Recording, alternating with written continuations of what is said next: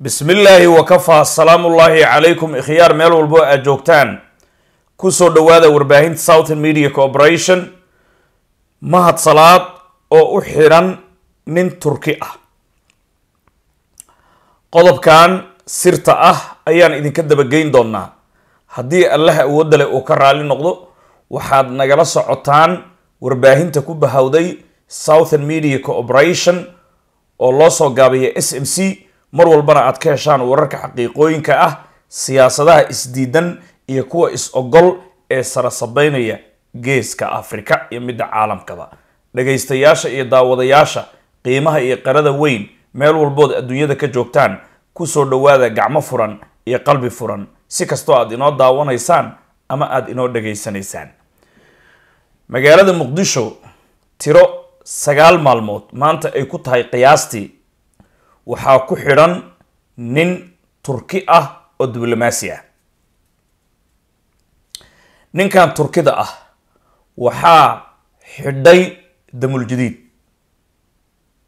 gaar ahaan mahad maxamed salaad oo ah taliyaha ciidamada nisa federaalka soomaaliyeed oo ma arkayse qabiilkiisana aad taqaanaan oo in badan aan idiin sheegnay. Haddaba ninkan wuxuu ka mid ahaa macalimiintii turkida soomaaliya u soo gurmaday oo ardayda soomaaliyeed oo ciidanimada doonaya askarinimada baraysay ayuu ahaa. Muddo maalinkii turkiga tababar uu ka bilaabay soomaaliya si soomaaliya cagaheeda ay isugu taagto dowlad dhammaystiran bad cir iyo dhul ay isugu filnaato uu ugu taageeray ilaa iyo markaan macalimiinta yacni dalka turkiga laga soo diray ee soomaaliya inay caawiyaan askarta inay tababaraan loo soo diray buu ahaa. Macallin keliyana ma ahayn diblomaasi buu ahaa. Waxaan saas u leeyahay turkidu nidaamka rajab tayib erdogan madaxweynaha turkiga wuxuu keenay macalimiinta iyo imaamiyada yacni si aan loo qashqashaadin marka dalka dibaddiisii shaqo looga diraayo. Waxaa la siiyaa basaboor diblomaasiya. Tusaale ahaan waddamada galbeedka ayaa xoogaho dhanka diinta la isku qaqabtaa. Sidaan ognahay. Oo dadka macnihii imaamiyada iyo mararka qaar in la qashqashaado oo argixisaatiin lagu shaabadeeyo oo si un marka erdogan uu ka fakeray isaga iyo dowladdiisu imaamiyada loo soo diro masaajidada dowladda ayaa mushaarka ka dhiibaysa masaajidada xataa iyadaa caawinaysa jaaliyadahana way is caawinayaan laakiin imaamka waxaa soo diraya dowladda turkiga. Dowladda turkiga imaamka markay soo dirayso shacab ahaan uma soo dirayso hadda. Waxay ka soo dhigaysaa diblomaasi.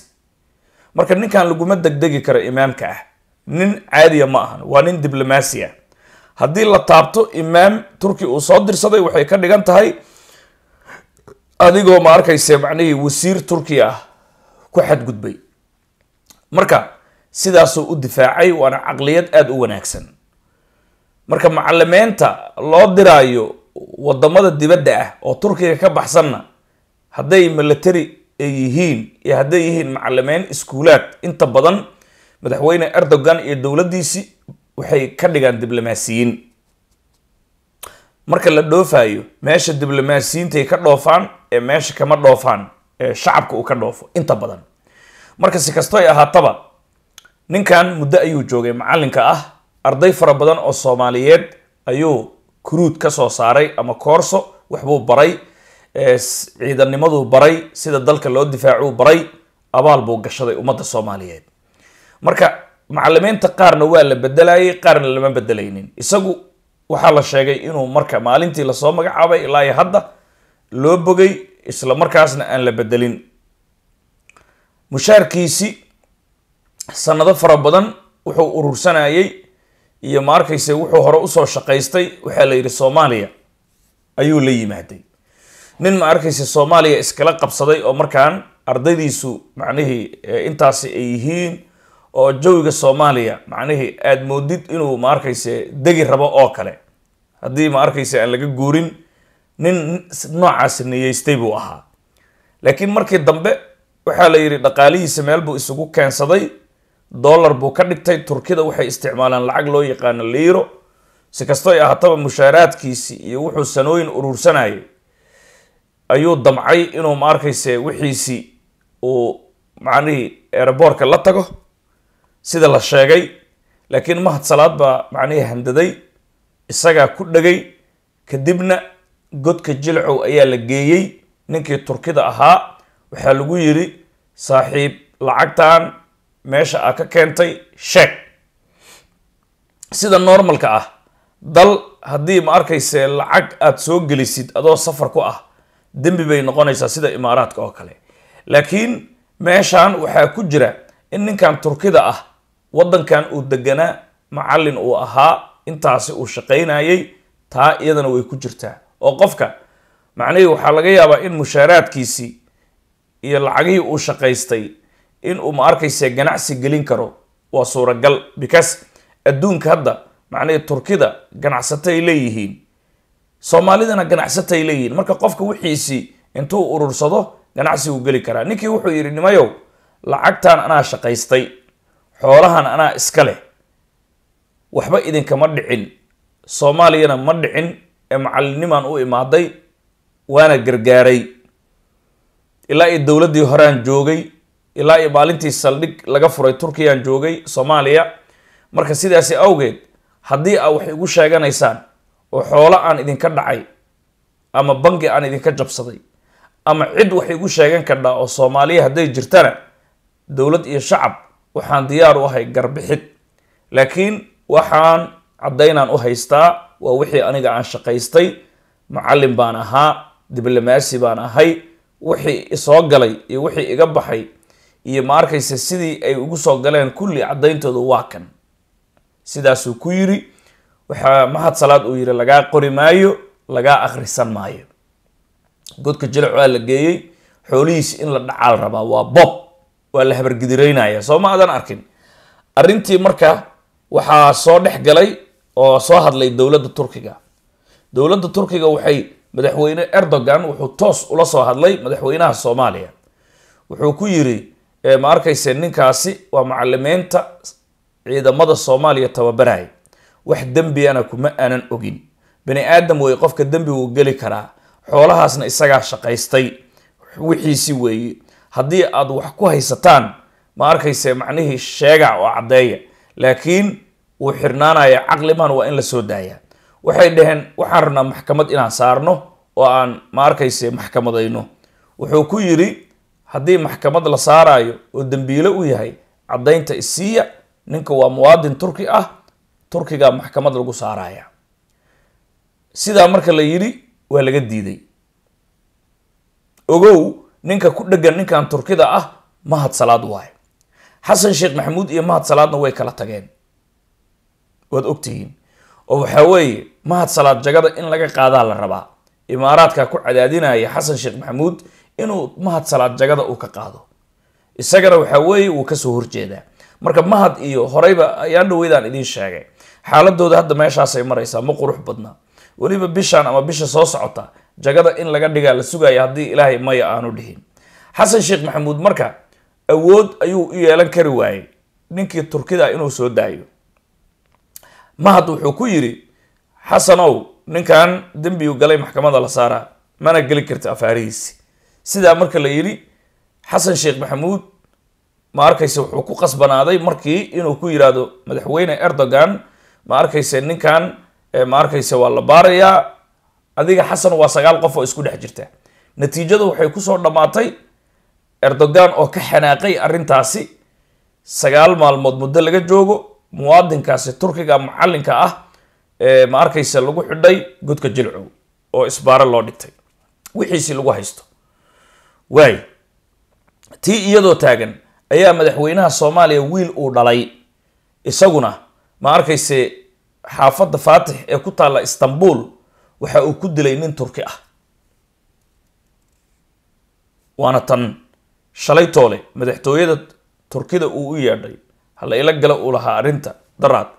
Isla markaasna markii dambe madaxweyne erdogan telefoon uu u soo diray uu ku yiri ma arkayse macnihii arrintan in aan xaal mastuur ku dhammaynaan doonaynaa inaad soo gashid baan doonayaa oo erdogan isagana uu yidhi sharciga turkiga wuxuu qabo ayaa la marsiin adigu madaxweyne soomaaliyeed ayaa tahay turkiya sharci baa yaalla waxba kama tihid.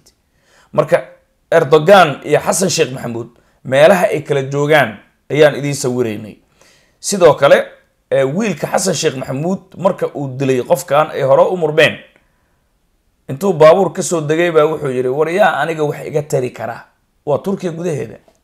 Horaan marka waxaan idinku sheegaynay xasan sheekh maxamuud caruurtiisii dadkay dharbaaxaan wasiiraday dharbaaxaan agaasimayaashay dharbaaxaan madaxda qarankaay dharbaaxaan way gacan fudud yihiin. Yacni waa dad aabahood uu soo daayay idaacadda intuu yimaado uu yidhaahday dowladda idinkaa iska leh. Nin walba cunugiis waxbuu ka dhigi karaa. Saasuu ummadda soomaaliyeed oo ka hor yiri. Marka waa wax la wada ogyahay inaan wakti badan aan ku dhimino ma doonayno. Muwaadinkaasi turkiga ah ayaa u xidhan mahad maxamed salaad iyadoo xasan sheekh maxamuud iyo mahad salaad ay kala durugsan yihiin. Iyadoo madaxweyne erdogan iyo xasan sheekh maxamuudna taasi ay ku kala durkeen. Xasan sheekh maxamuud wiilkiisii kadibna ma arkayse dilkan uu geystay gudaha turkiga. Wixii ku soo kordhaa.